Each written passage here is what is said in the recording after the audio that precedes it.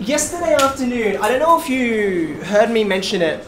It sort of was a bit of a side comment, and then I thought about it a bit more, and um, I thought, no, actually, this is something worth homing in on.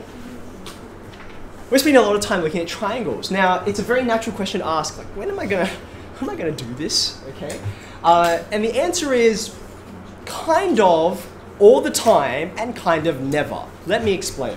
This is trigonometry, right? Trigonometry. The word trigonometry kind of tells you what it's about. When you've got something with a metry on the end, like optometry or geometry, right? Does anyone know what that metry bit on the end means? Hmm. I'll give you a bit of a clue. There's another word we have, I think I heard it, another word we have which is the has the same root, right? Which we use for our system of talking about centimeters and meters and what's that system? It's the metric system, which is another way of saying measurement.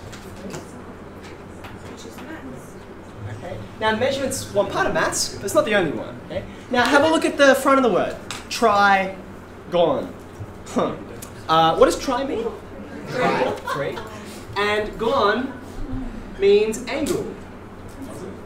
Which is why when we talk about polygons, poly means many. So polygons are just anything with lots of angles. Okay? So in this table, what I want to do is I want to gather together all of what we know so far. It's not complete yet, but it'll give you an idea of how everything we know fits together. At the moment, we've been dealing with two main kinds of triangles. The first ones are where you have right angles.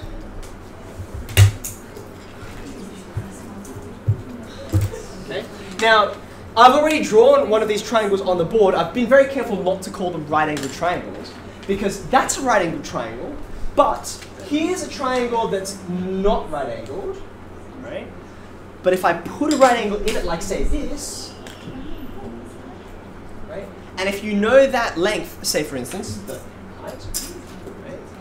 You actually know a lot more about this triangle because of that right angle, even though the corners, none of them are right angles. So if you have right angles at all, for instance, we know how to find area, right? If you've got some right angles there, if you know some right angles, the area is really easy to get. What's the formula? Half base times height, very good. Okay. But what we've been trying to do is expand with trig, because that doesn't have any trig in it, where you don't have right angles.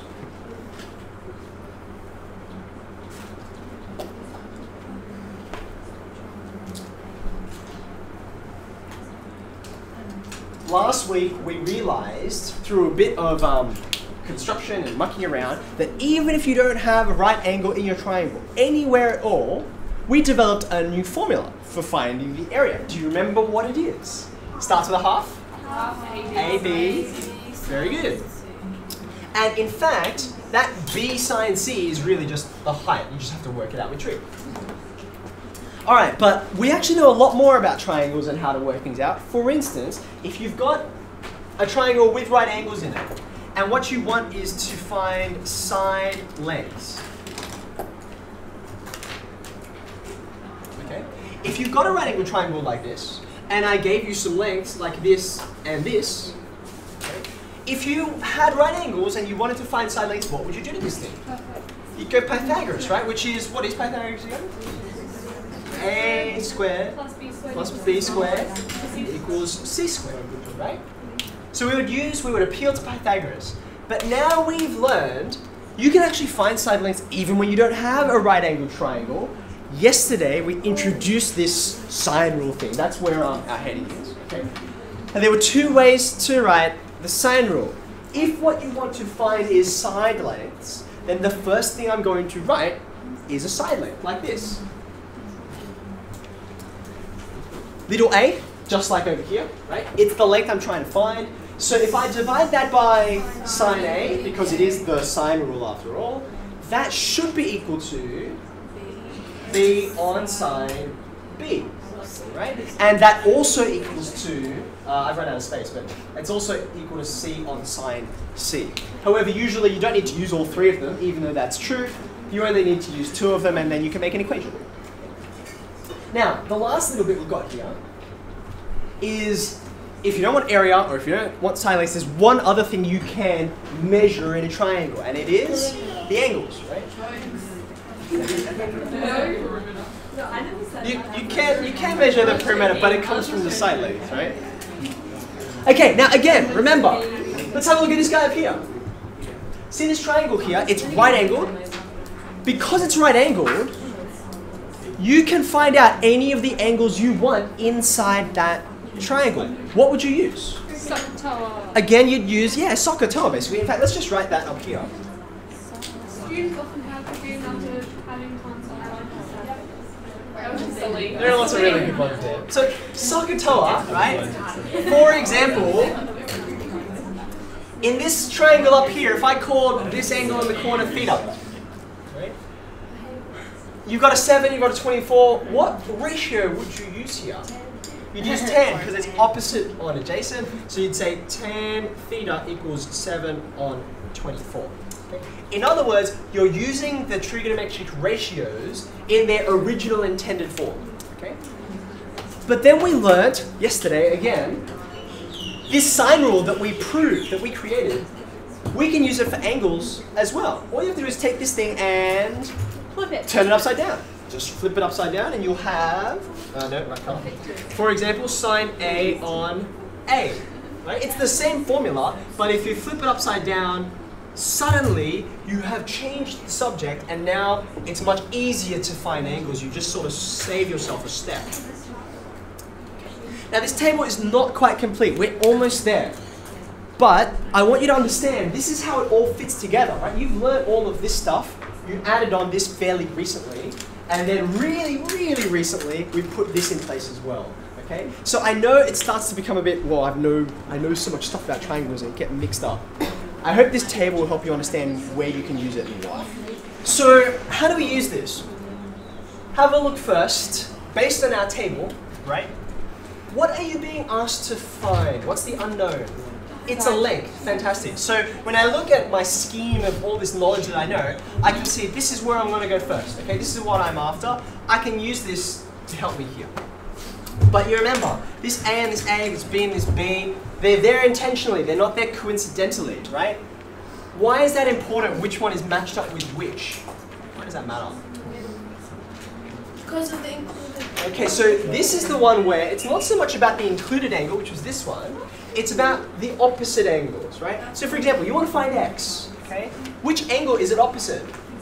The unknown. Yeah, I, I actually don't know what this angle is. It's over here, and that's really important. A lot of students will look at this, they'll say, two angles, two sides, I'll just put them into the formula, because I can see them there, right? But you can actually notice there's something additional I have to find out. Can you tell me what that angle is? Oh, it's yeah, 53 plus 34 minus 180. Yeah, very good. So uh, 34 plus 53 is 87. 87. So if you subtract 87 from 180, you'll get 93. Now I have the information I need for that. The other length is opposite this angle. Okay? So I've identified everything I need. What am I going to write? What's the first thing I'm going to write? The thing I want first, x on, yeah, very good. So I had to find this angle, and then it's equal to the other pairing, yeah? Very good, fantastic. Okay, so you're starting to get the rhythm of this, right? You can see, by the way, um, do you remember when I told you about bearings questions? I gave you some principles for bearings questions. One of the principles was read the question carefully. If you don't read it carefully, you don't know what you're looking for, and then you don't know what to use.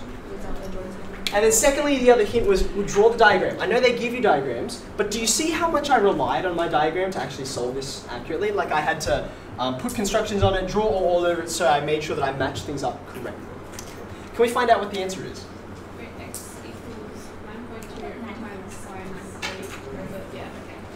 That? Okay, let's get a number. Um, can I get one decimal place, please? 16.4?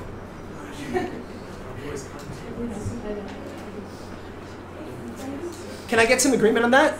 Yep. Calculator shipped out? Wonderful. Um, last thing before we leave, sense check. Sense check. Now remember, I told you with these, you can do like a regular sense check and say, oh, is this number is it in the ballpark? But you can do an even better sense check by looking at this number and comparing it to this one. 16.4. Like, hang on. Hmm. Yeah, so In the middle of the episode. if you guys if you guys are in the AP3s and I'm walking around and I see some of you in the middle of your exam going like this, I, I'll be so I, proud. I'll do it if somebody walk past do it just to make me laugh, okay? Just to make me laugh.